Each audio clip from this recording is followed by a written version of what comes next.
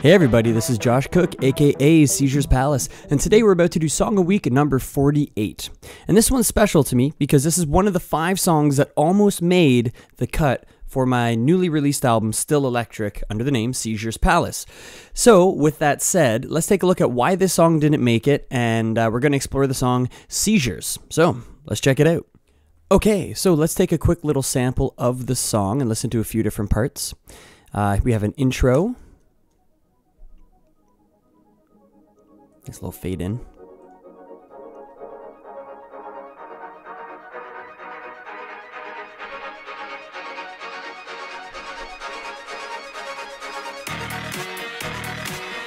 And it develops a bit, and then later drops in. And then some video gaminess, and then here we go.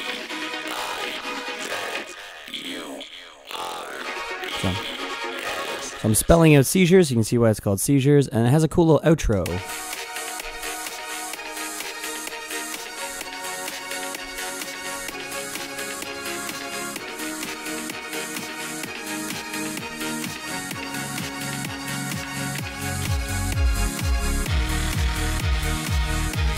All right, so that's kind of where the song's at right now. I should mention uh, this song was almost the last song on the album, Still Electric, and I ended up going with the song The Engine Ear. I really liked the harp in that song. I thought it really helped cascade the album to a close, which was nice. Um, this one would have been great because I'm spelling out seizures at the end of the day, but I think that as a runner up to the album, it's still very much worthy of being one of my last five song a weeks before I'm done with this little series. So, with all that said, um, truthfully, I spent about 20 minutes mixing this song just now and then realized I wasn't recording my song a week. So, that said, it doesn't have as much mix issues as it originally did. There's tons of mix issues. Um, and what I did while you guys weren't watching was I re-leveled out the drums a little bit and they're layered. So if we go in here, you can see it's it looks like a lot of MIDI information. It's really simple though. It's just a lot of overlapping things. Like look how many things are overlapping on this one beat here. We have a hi-hat, a shaker, a high snare, a low snare, high clap, low clap, a click, a mid kick, a low kick, and a sub kick. So really just like I went through all these samples and found like what kick had my favorite sub or favorite lows or mid lows or mid highs and then same with the snare, same with the clap and layered the crap out of them, which is I think kind of how Madeon does his drums and I like Madeon's drums. I think they're very crisp and unique. So um, that's one thing that I try to put into the Seizures Palace style is sort of more crisp drums like Madeon or a nice knocky kick um, and kind of more traditional somewhere along the lines of Savant, but he's kind of all over the place with his drums anyway. Um, so what I did was I realized that a lot of these were lined up at the same time. So during the first song a week, five minutes ago or whatever, 20 minutes ago, that didn't work out. I clicked these little side keys here, and that will highlight a whole row of drums. And then I slid them around just to kind of fit them in place. Get that sort of like a nice little slow crunch into the sound. And uh, it also avoids the transients lining up at the same time or the peak of the sound, which can give you issues with your limiter later when you're mastering. So, uh, also the sub, I brought down a little bit in volume. It was very sub heavy before.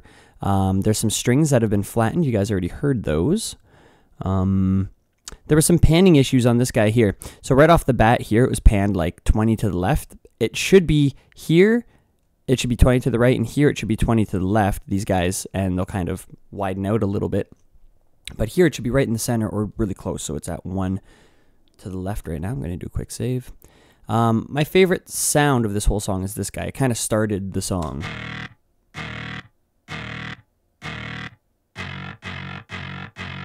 And later, when it's not filtered, I just love distorted sounding synthesizers. If you haven't noticed, that's kind of kind of part of my styles between really lush orchestral music and really heavily distorted electronic music.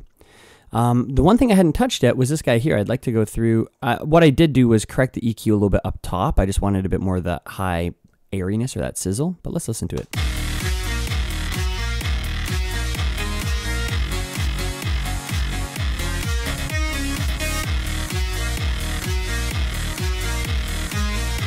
Here's what I'm going to do. Um, I want to widen this out. Hold on a second.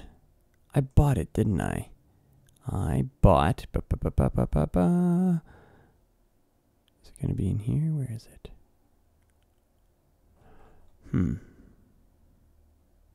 One minute. Under waves. Ba, ba, ba. Here it is. Yeah, the stereo one imager. Here we go. Shuffler? What's that all about? This has to do with low frequencies, right? Anyway. What I'm going to do is get rid of the Haas effect. Uh-oh. Spinning wheel of death. Come on, fingers crossed. Okay, so that didn't work. The whole thing crashed. Took me a couple minutes to get back to where we are right now. So here's what I'm going to do. We're going to go back over to this organ part. I'm not going to worry about the Waves stereo spreader. I'm so tempted to use it. I bought that in MaxxBass um, admittedly, a buddy of mine way back in the day had a bunch of cracked waves, and I got to try it all out and see what I liked. And those are two of my favorites. So hey, go legit buy uh, buy the products that you want to support, or buy the products from the companies rather that you want to support. Here's what I'm going to do. I'm going to take this mix and I'm going to put it in mono temporarily using the BX Solo free plugin. By the way, you can check side information or mono. Where I find this particularly useful is listening to what other DJs or producers, not DJs, producers and composers put into the sides of their mix. Listening to Deadmau5, for example, versus Savant, extremely different use of how they mix in the sides. So um, it's just kind of cool if you want to go after the sound of your favorite mixing engineer or producer. Uh, it's one quick way to be able to hear a little bit more uh, outside of all the clutter. So we're going mono. And what I'm going to do is I'm listening for within the super Mord here, like Mord Fustang related. You can tell my style is a huge hybrid of a bunch of different peeps. Um, we're going to uh, adjust the width and the delay, more the delay than anything, and uh, try to get the phase alignment to line up a bit. So let's give that a shot. And what I'll do is loop this. I'm going to save as well. Solo it. Just going to listen to it for a minute.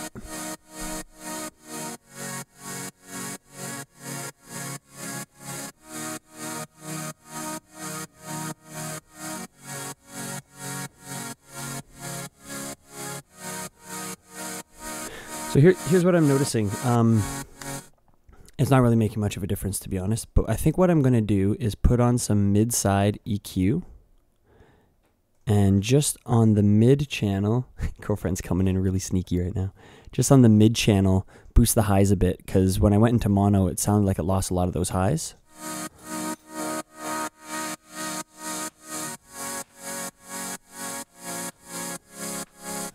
That helps. And then Nice and wide, nice and bright.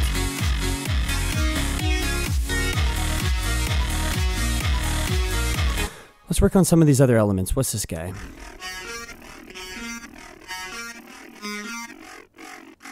Here's my thought about this right now. It's a pretty high lead, but I'm trying to get it to dip down really low.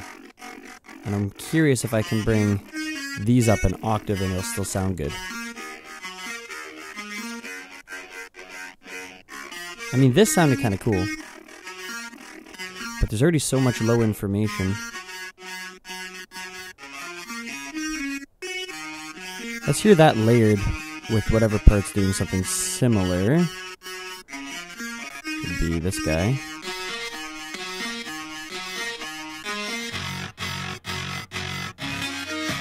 Yeah, that really cleaned that up.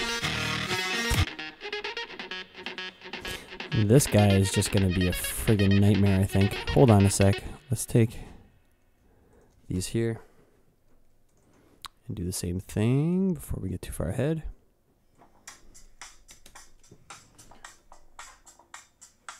All right.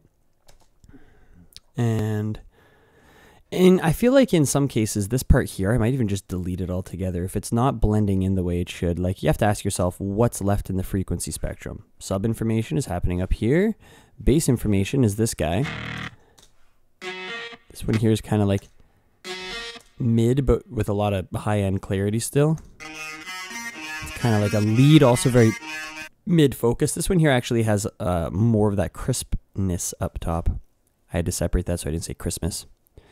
And then this here, very muted.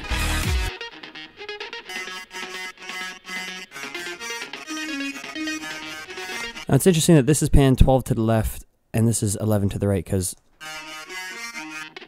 they're very different frequency ranges. I don't really need to spread them that much.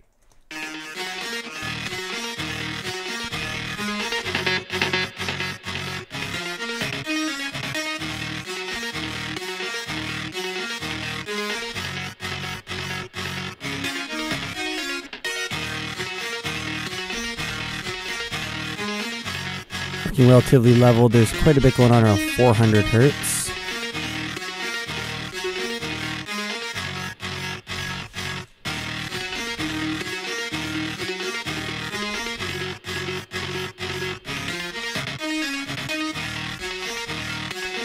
Okay, it's just a really light layer at this point. Uh, this is the video gamey stuff, I think. Got some long verb on there. Let's get rid of that altogether. Also, feels like it can be compressed a little bit differently.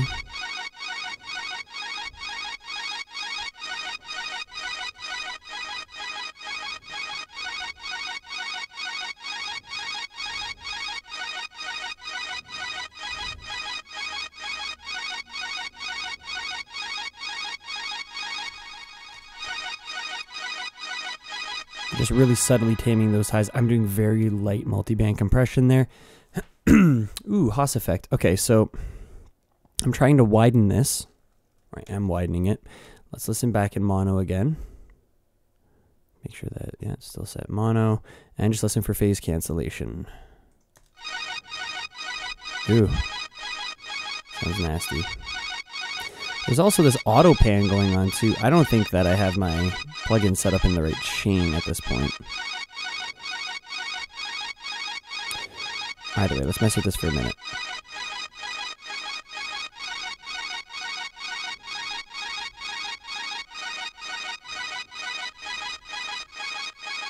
That sounds a little better to me. And again, I think we can go into our mid-side EQ and brighten up the mid a little bit, but not in the same area preferably as the organ.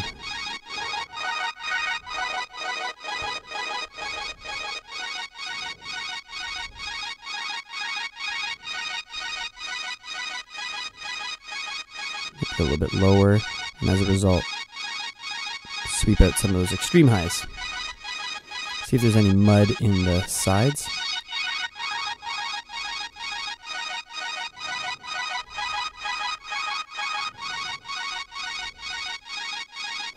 That's about all I could find with these headphones on.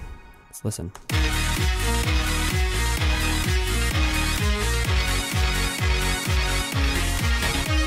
sidechain compression sounds weird on it.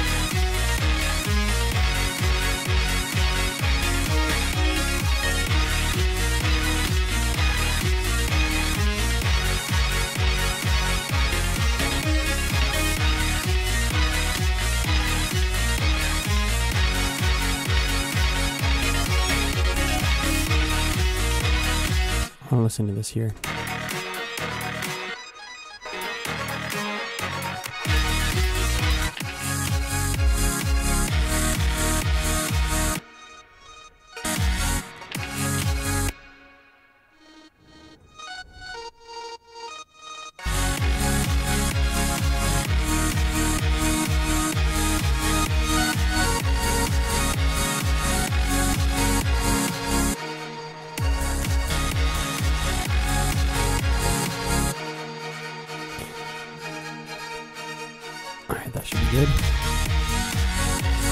Listening to these strings.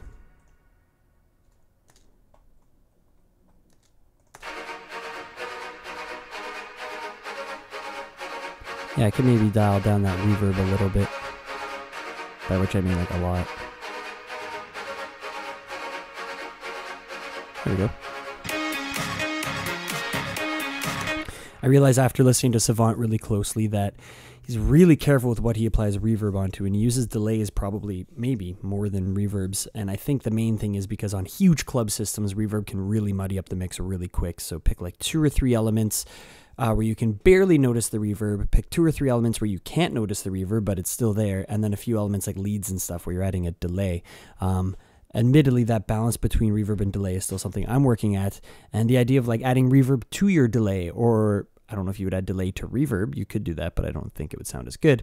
Um, that's stuff that I still have to work on. So let's go. We're almost into the vocal part here.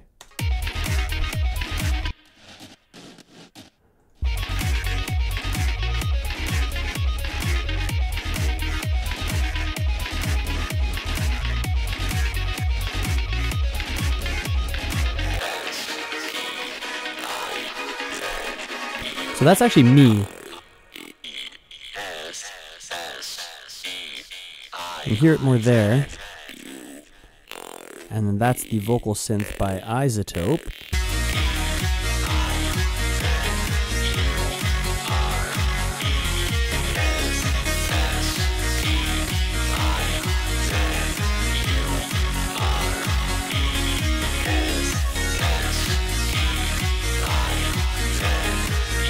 bit of a better blend.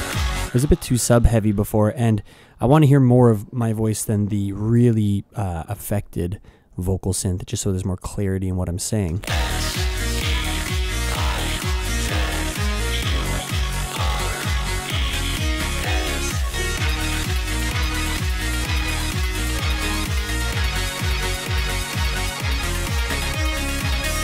Hi hats are buried right now, just a little bit.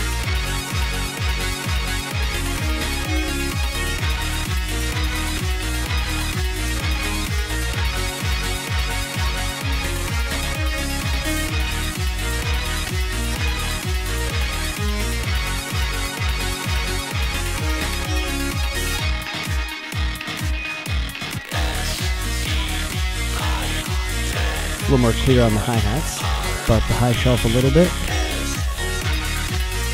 Might be a good time to start listening to frequencies more individually. Sub sounds kind of nice.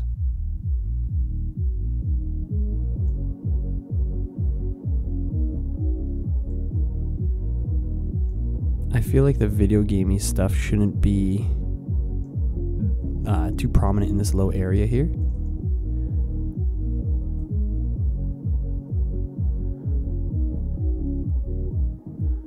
Yeah, so that swept it out a little bit. Listen from the same spot.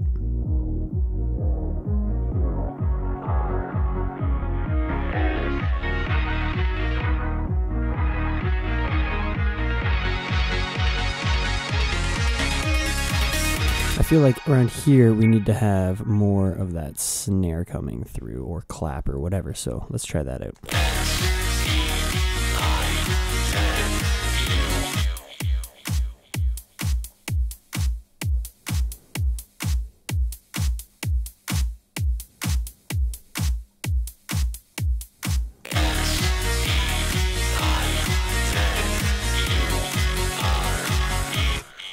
I think this is a good spot for me to go through. Oh, and try to mix in the levels a bit more so that snare's coming through.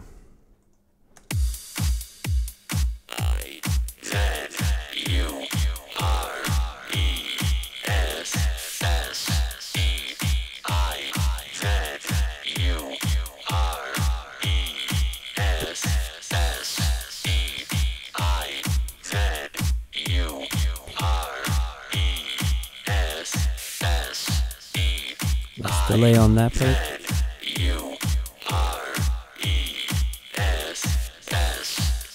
This needs better compression.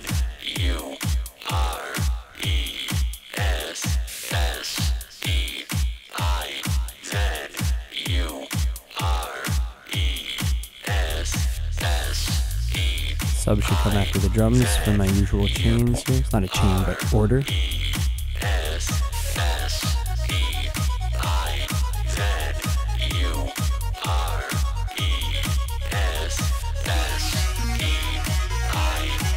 These are very similar in their range.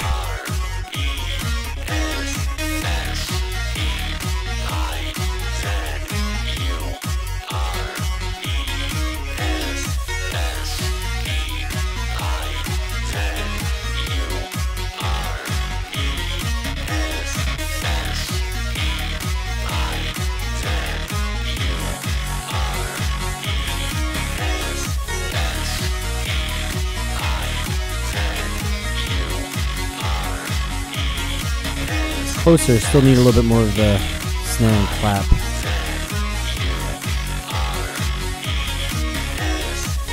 I'm gonna go in and mess with the balance individually.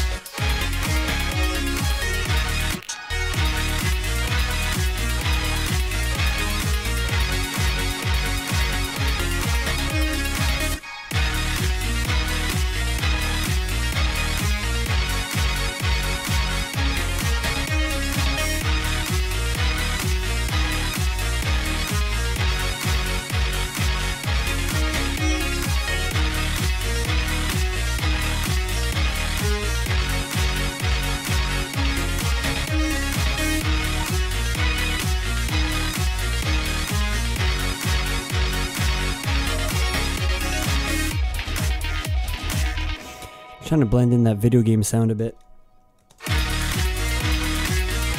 Hi hat sitting nice on top. Probably bring it down a tiny bit now that it's a little more clear sounding. Just a tiniest little bit.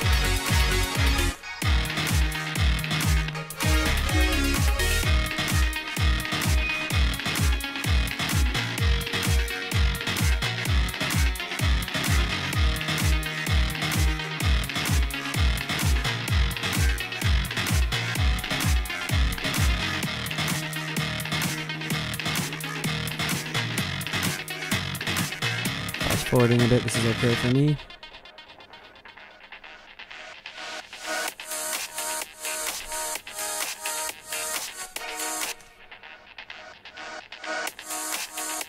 That looks.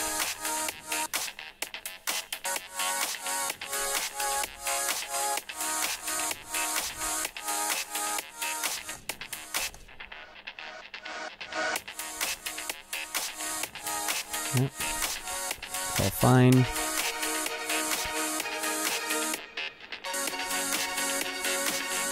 I can maybe come up a little bit. Kind of cool little part.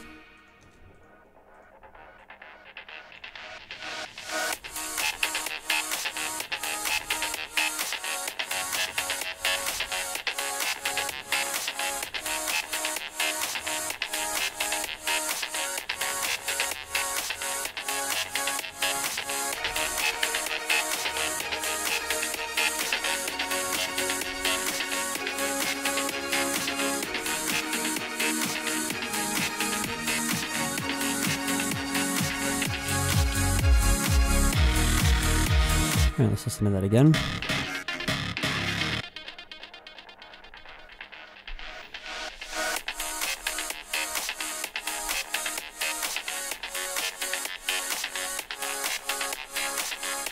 You can see that on the master chain here I have an auto filter. Tiniest Q boost.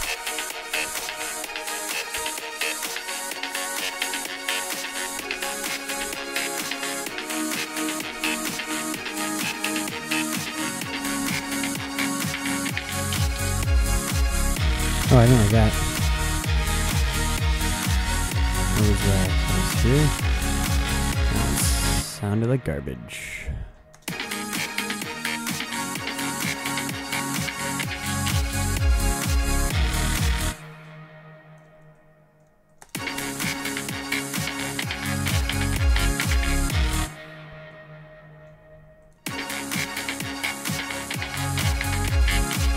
There we go.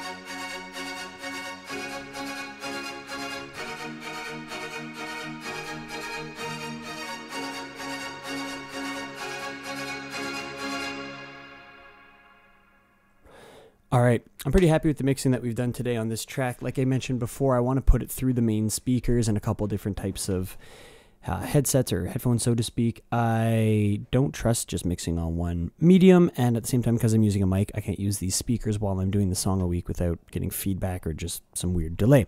So, with all that said, again, this was Seizures. It was almost the last track on Still Electric. I thought about maybe saving it for the next album, but I just thought it'd be a really cool idea to give you guys at least one song that almost made it onto the album but did not. That being said, I had five that didn't quite make it onto the album and I have five song weeks left. The issue there is two of those songs are so CPU heavy that I can barely edit them without OBS running at the same time. That's my screen capturing software. So I get a lot of crashing. So I might show you maybe two or three, at least this one, but maybe two or three of the tracks that never made it onto Still Electric. Why I'm not worried about that is because I already have about another 15 songs ready to go for future albums, and I bet I won't use four of them. I might choose two or three of the best. I'm ready to make, make some new music once the Song Week series is done, once I'm done mixing mixing the band Simcoe. They're amazing. Check them out, by the way. They're from Toronto. I'm mixing their album right now. Um, my Seizures Palace album is recently behind me, so lots of stuff is wrapping up all right now. And afterwards, I'm looking forward to writing some new music and uh, digging into some of the new plugins I've got and really using Serum to the best of my ability. So, anyway, this has been Josh Cook, aka Seizures Palace, doing song week number 48. Next week's 49, then 50, then 51, then 52. That means four weeks left. That means one month left. I hope you guys have been enjoying the series. I will see you next week. Peace.